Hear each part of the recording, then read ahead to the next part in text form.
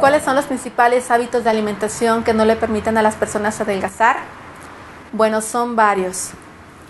Hay uno que es muy típico. Normalmente estamos en la casa, no hay nada que hacer, hay un poquito de ocio y yo me levanto al refrigerador, abro, me voy a la cena, abro, veo. Este es un auto boicot. ¿Por qué? Porque cada que yo me levanto al refrigerador o a la alacena, seguramente voy a salir con algo en la mano y no va a ser lo más adecuado para mi dieta de adelgazamiento. Otra de los factores que es muy común, sobre todo en las personas que cocinan, son las probaditas. Entonces yo estoy preparando mi alimento y empiezo a taquear y ya probé la sopa y ya probé el guisado y cuando me toca sentarme a la mesa no hay hambre. ¿Por qué? Porque ya ingerí el 40 o el 50% de lo que yo debía de comer aún sin haberme sentado a la mesa.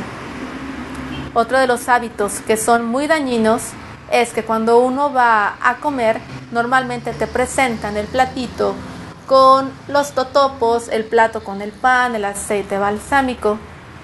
El pan calientito te hace ojitos y bueno, ¿qué hace uno? ¿O qué debe de hacer uno?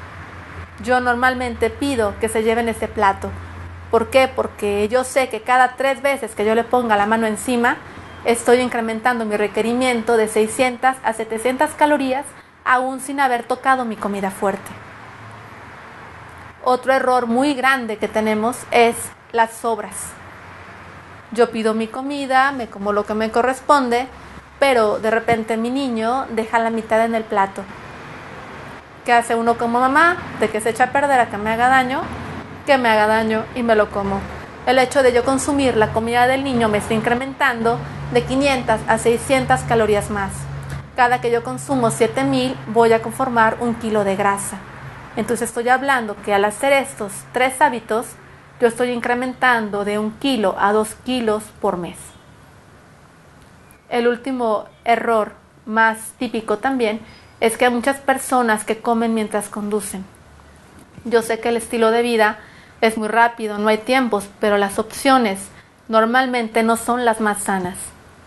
Hay comida corrida, hay hamburguesas, hay papas.